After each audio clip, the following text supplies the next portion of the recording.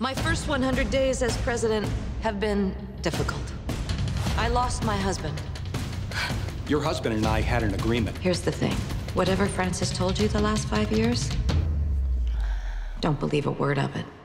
This is my house, and I want you out. All I want you to do is behave as promised. I'm not going to be told what to do anymore. You sound like a gangster, Madam President. The world is either with us or against us. We've got to get this woman out of there. It's going to be different for you and me.